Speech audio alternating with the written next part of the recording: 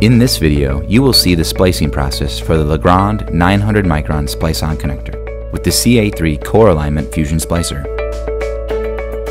Here are the items necessary for installation.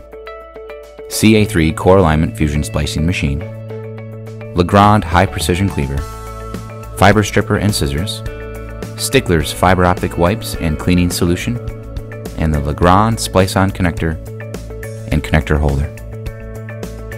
The small, compact design of the Legrand Splice-On connector allows users to splice directly to 900 micron tight buffer cables or use on 250 micron distribution cable when using a fan-out kit. Also, with several different connector holder options, you can use the Legrand Splice-On connector on industry-leading splicing machines from companies like AFL, Fitel, and Sumitomo. When first turning on your Fusion Splicer to begin a splicing session, you must remember to perform an arc calibration. The arc calibration will account for altitude, humidity, temperature, and barometric pressure, and will set the machine to the correct power for arcing, dependent upon your location. Strip, clean, and cleave your fiber, and load into the machine. Be sure to remove all of the acrylate coating.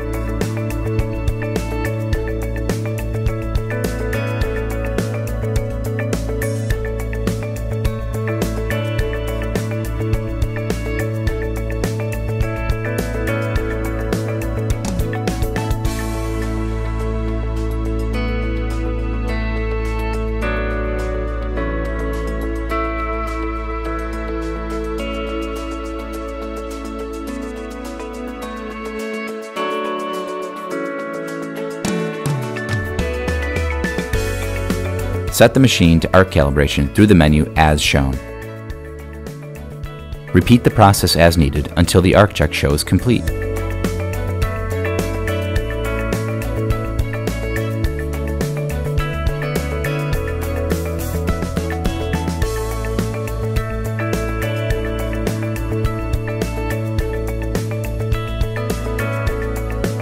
After the arc calibration is accepted, set the Fusion Splicer to the correct splice mode for the fiber type you are splicing. In this video, the machine is set to Auto Mode Single setting and we will be turning off the pull test function of the Fusion Splicer through the menu as shown.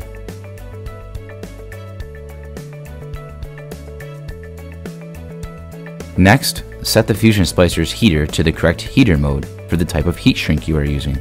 The CA3 splicing machine has different heater settings for the different size shrink tubes. In this video, we will set the machine to the Splice-On Connector 25mm sleeve for the size we are using. With the CA3 Fusion Splicer, the Legrand Splice-On connector can be spliced on either side of the machine. Remove one of the fiber clamps from the machine with a Phillips head screwdriver.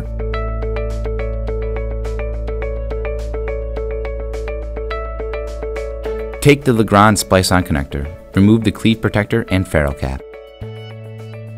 Place the connector into the splice-on connector holder. Place the connector holder onto the motor of the splicing machine as shown. Prepare the field fiber by sliding the 900 micron boot and splice protection sleeve over the end. Next, strip an inch to an inch and a half of 900 micron jacket from the end of the field fiber. Wipe the fiber clean with cleaning solution and wipe before cleaving. Place the field fiber in the cleaver and strip to 10 millimeters. Cleave the fiber and place on the fiber clamp side of the machine.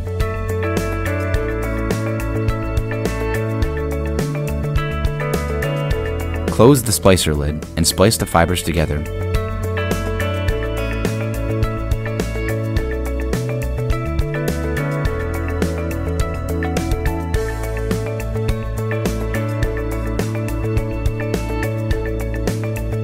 After the splice is complete, bring the splice sleeve up to the machine and lift the clamp on the fiber holder.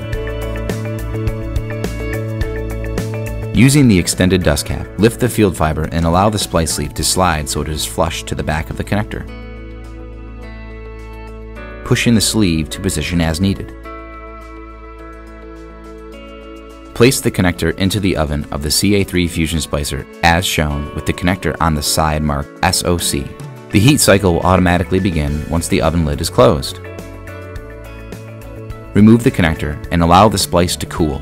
This could take up to 15 seconds and will prevent the splice from breaking when pulling up the boot. Slide the 900 micron boot flush up to the back of the connector.